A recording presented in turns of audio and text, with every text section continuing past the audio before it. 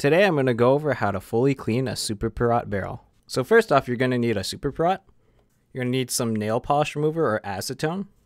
You're going to need one eraser. You're going to need a Ziploc bag and you're probably going to want like a little paper plate or something to catch it if you poke a hole in the plastic. Acetone tends to melt plastic. I'm Using a paper towel is pretty slow and it makes it a lot harder to like make sure that it's uniform throughout. So using a Ziploc bag to rub it, even though the plastic melts a little bit, is much faster. You're also going to need some pliers, and if you haven't emptied out your Superpirat barrel, you're going to need an X-Acto knife. So first, you're going to disassemble your Superpirat.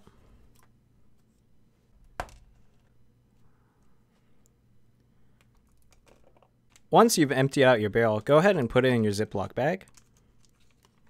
Go ahead and pour some acetone in your bag and seal it up so that the fumes don't come out.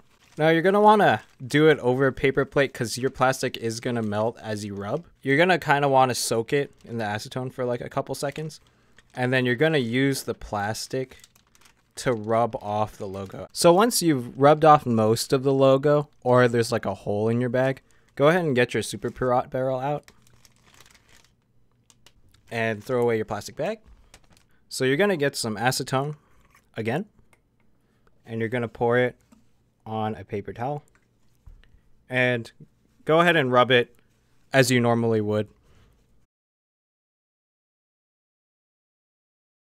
And once you feel that you've rubbed off as much as you can, you're going to take your eraser and you're just going to keep rubbing until you don't see any chalkiness anymore. And just through my first few strokes, I don't know if you guys can see this on camera, but you can kind of see there's already a big difference. This part is really shiny and it's like a different color than this chalky part. If some of the residue doesn't come off, you can soften it some more with some acetone.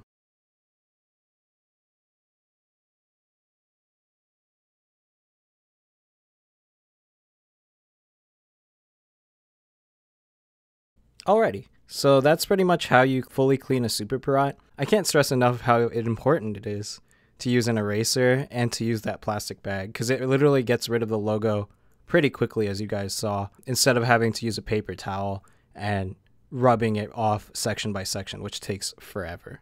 So this was a tutorial on how to fully clean a Superpirat barrel. This is Sept and thank you for watching.